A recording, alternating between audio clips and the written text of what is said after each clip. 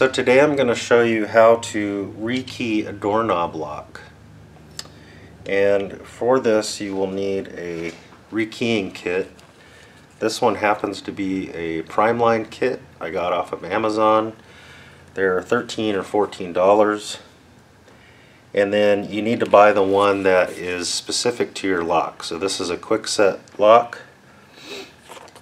And this kit gives you uh, the new pins you need to rekey it, uh, this follower, a removal tool, tweezers, and of course a set of new keys. This one came with three new keys. And for the doorknob rekeying, I suggest using a screwdriver to do it. So here's the doorknob off of the door. Uh, once you get it off, you'll have this part with the lock in it. And we need to remove this spindle in the center here. So the way I do that is to uh, twist this spindle so that this little square lines up here. It's kind of, you're kind of centering it there. Okay, so once that is centered there, you can go ahead and remove this. So to remove it, uh, you can take the screwdriver, or even I've seen it done with the tool also. Anything you can fit in here. So once you get that screwdriver in there, you can twist it, and that will release the spindle.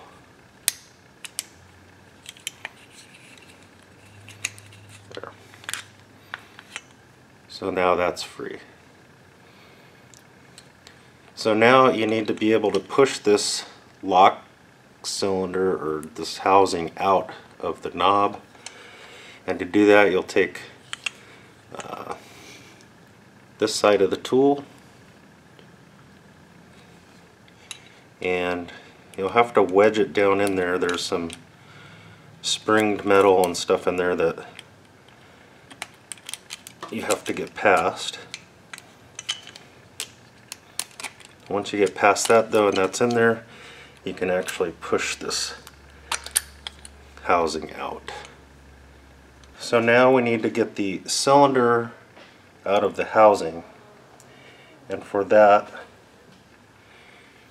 uh, you'll use this side of the tool again and there's a little clip on the end of that lock uh, you can see that little black clip there. You need to take this tool and push that off.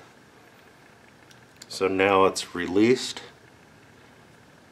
and I can actually just pull that pin or that clip right out of there. And you want to be careful here, you don't want the cylinder to fall out so I just hold on to it make sure it doesn't fall out. Then you need the original key to do this. I have here and just insert it into the barrel. And then you want to take this follower and get that on the end of the of the barrel. Okay. And then you want to keep some pressure on the end of this as you're doing this but you'll turn the key I turn it 45 degrees and push this follower in keeping pressure on both sides. Now the barrel is out and you'll see in here here's the little pins that we need to, to, re, to redo.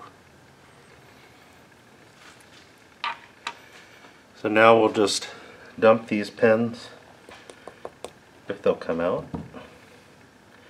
There we go. So there's the old pins.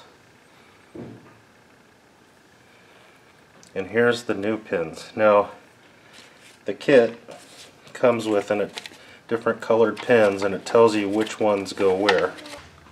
So now it's just a matter of getting these pins into the correct holes on this barrel. and I have them laid out in order already.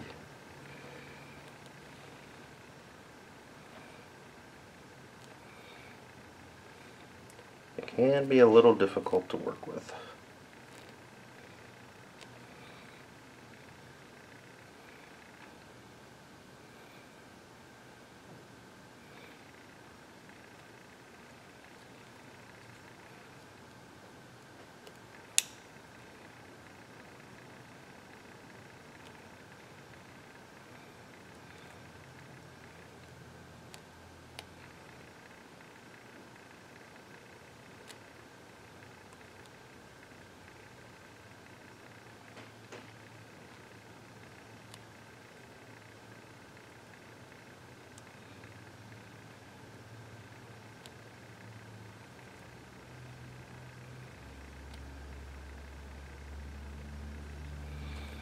Now when I insert this key, all of these little pins should line up flush with the top of this barrel and you see it certainly does.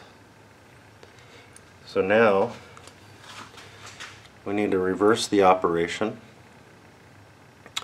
and so with this plug follower here you want to keep constant pressure on this on both sides so that you don't end up breaking the lock.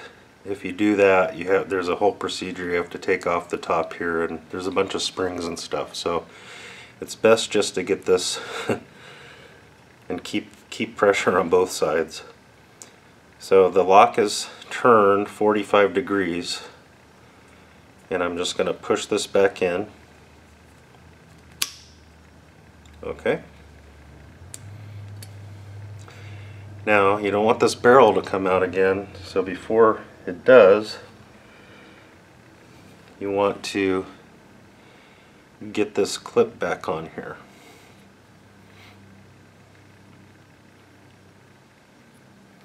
And actually before that you'll need to turn the key upright. There we go. And then now I can get this clip back on here. So now that the clip's back on, you can, the barrel will not come out and now this lock is rekeyed. So now I just got to reverse all of those steps, uh, putting the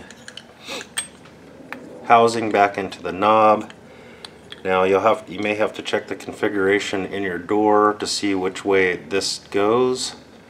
But I know on this one that this is the top of the knob and that's how I'm going to position this lock.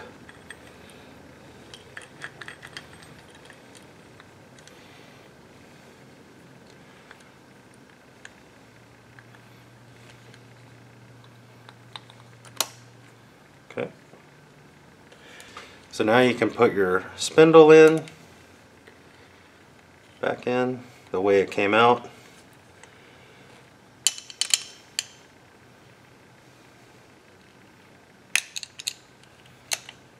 It